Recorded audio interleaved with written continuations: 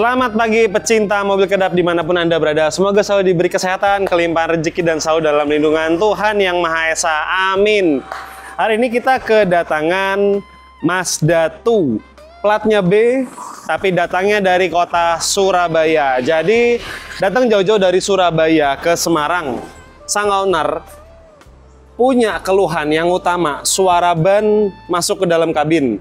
Kata beliau seperti itu. Terus suara sekitaran juga masih kerasa ke dalam kabin. Sekaligus juga kenapa saat hujan, terutama pas hujan deras, itu di bagian plafon suara tetesan airnya kerasa banget ke dalam kabin. Setelah kita bongkar, ini dia kondisinya. Di bagian plafon langsung ke platnya. Di bagian lantai yang warnanya lebih gelap, itu adalah peredam aspal bawaan pabrik. Sedikit sekali di bagian ban serep tengahnya kosong, sebelah kiri kosong, tapi di sebelah sini ada peredam aspal bawaan pabrik. Terus di bagian tepong, tepongnya sebesar ini, peredamnya kecil sekali. Ini aspal bawaan pabrik. Oke nggak masalah, kita punya racikannya dalam waktu kurang lebih 9 sampai dengan 10 jam Mazda 2 ini bakalan berubah total. Di bagian samping, kok suaranya masih kerasa ke dalam kabin. Door trim kita lepas, plastik penahan air kita lepas. Lobangnya istimewa, besar sekali. Ini plat luar, ini plat dalam. Di bagian pintu depan, ini yang paling-paling besar lobangnya. Bidang pintunya segini. Lobangnya segini. Kalau ini kan lobang speaker. Lobangnya hampir hampir seukuran pintunya sendiri. Gak masalah nanti nih bakalan kita bikin full rapet satu kabin mulai dari bagian plafon, 5 pintu, kolong ban depan, firewall dari baliknya dashboard sampai ke bagian ban serep termasuk ke bagian tepong dan lambung belakang. Jadi dengan pola pertama kali kita gas dulu rubber, apa lapisan rubber batilnya, habis itu kita finishing dengan lapisan peredam foam. Ini kan kondisi awal sebelum kita pasang peredam, tutupan pintunya. Nih ya, saya tutup pelan. Getarnya banyak banget. Saya tutup kenceng, tambah jadi. Ya wajar kalau bawaan pabrik seperti ini normal. Suaranya cuma pakai tangan loh. Ngaleng banget ya sampai di sini sampai di bagian plafon suaranya kerasa banget sampai di bagian fender depan. Tapi nanti di akhir video kalian bakalan lihat perubahannya benar-benar berubah total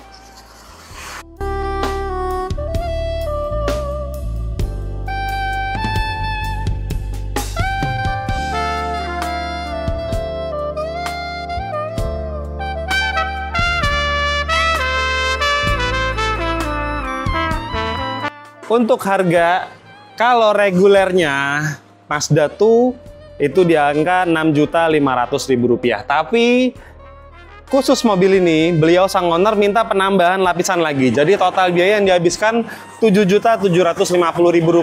Oke, nggak usah kebanyakan basa-basi, langsung kita gaspol ke buru siang.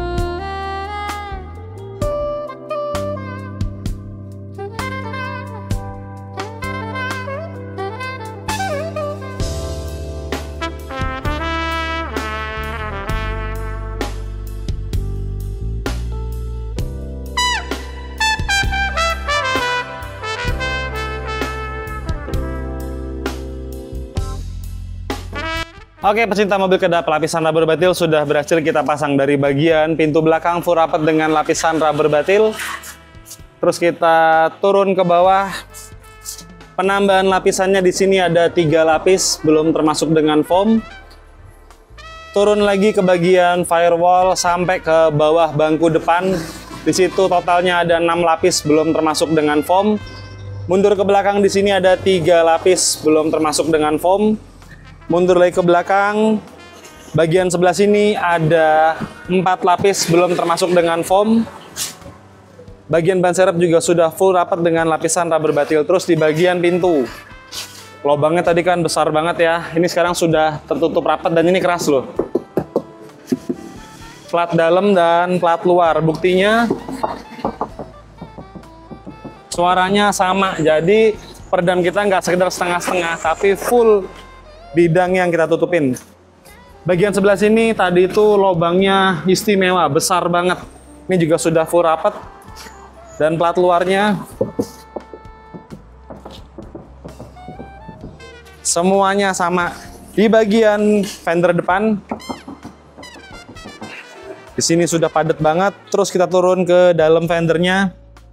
Di sini ada dua lapis rubber batil belum termasuk foam Lapisan ketiga ada di bagian trim plastiknya.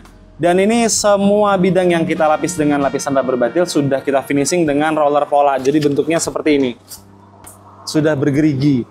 Efek yang kita dapatkan adalah pertama peredam itu benar-benar lengket banget karena dia nggak ada angin yang kejebak atau nggak ada udara yang kejebak di sela-sela lekukan plat-platnya. Terus kelebihannya lagi dengan kita finishing dengan roller pola, peredamannya semakin maksimal karena semua bidang tertutup dengan sempurna. Oke, habis ini kita bersih-bersih, kita lanjut lagi naik lapisan peredam foam.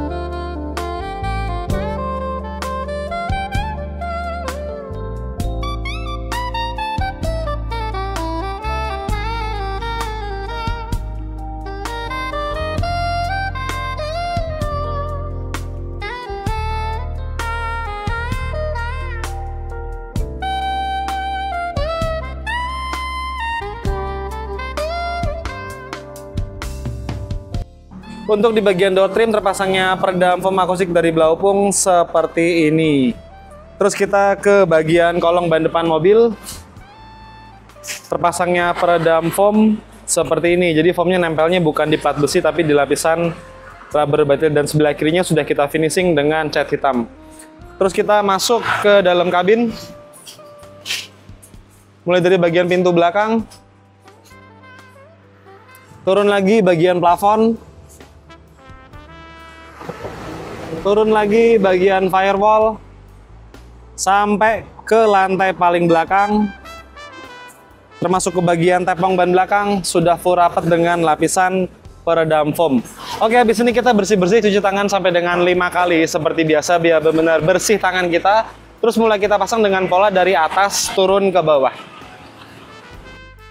Oke, sekarang posisi jam 6 sore dan kalian bisa lihat semua sudah kembali seperti mobil tadi pagi waktu ke sini. Benar-benar utuh banget plafonnya, nggak ada retak, nggak ada noda sama sekali. Pilar-pilar kembalinya utuh, jok-jok presisi. Sebagai contoh, kembalinya door trim benar-benar lurus banget. Tutupan pintunya sekarang nggak ada getaran sama sekali. Saya tutup pelan, asik banget. Saya tutup kenceng, tambah jos dan suaranya benar-benar istimewa, bener-bener padat banget. Ini sudah saya starter barusan sebelum kita ngambil gambar, semua indikator aman. Jadi yang merah ini adalah logo pintu dibuka, karena kita lagi buka pintu kanan depan untuk ngambil gambar. Yang ini kuning adalah logo sensor bip dari spion. Jadi kalau ada kendaraan di samping, dia langsung memberi kode lagi di off kan biar nggak berisik. Yang sebelah kanan adalah parking brake. Saya lepas handbrake. Aman semuanya. Terus kita cek lagi lampu utama. Aman. Lampu jauh aman. Fog lamp aman. Sen kiri aman, sen kanan aman. Kamera mundur juga normal semuanya. Terus untuk tombol navigasi berfungsi dengan normal. Terus lampu-lampu semuanya normal, termasuk klakson juga normal. Oke, habis ini langsung kita coba test drive. Oke, sekarang kita lagi nyoba test drive. Kita masuk di medan perumahan. Kita menuju speed 40. Kalian dengerin suara bannya.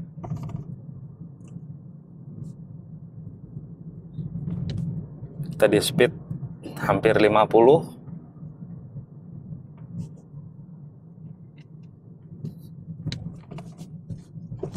di dalam kabin bener-bener tenang banget. Kita masuk ke aspal kasar.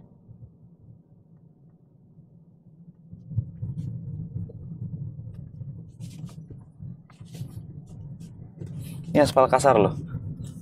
Tapi suara gemuruh ban bener-bener tipis banget. Jadi kita bisa menarik kesimpulan Mazda tuh setelah kita kasih full peredam gini perubahannya sangat signifikan banget. Kerasa banget bedanya suara ban itu jadi benar-benar berkurang, suara sekitaran ini mobil tuh sayup-sayup. Tapi suara klakson tetap aja kedengeran. Dan sekarang ini kondisi kabin sudah benar-benar masuk dalam kategori toleransi nyaman di kuping dalam artian suara gemuruh ban kalau hilang 100% itu sangat-sangat tidak mungkin tapi berkurang sangat drastis. Jadi suara ban sekarang kecil banget dan ini sudah nggak akan ganggu kenyamanan kita dalam berkendara. Jadinya sekarang udah jadi benar-benar asik kabin dari Mazda 2 ini. Karena suara sekitaran menjauh kalau pas lagi hujan pakai suara hujan bener-bener gak kedengeran cuman dari kaca aja. Kalau kaca jelas nggak ada obatnya. Dan suara ban juga tipis banget jadi maknyus kabin ini.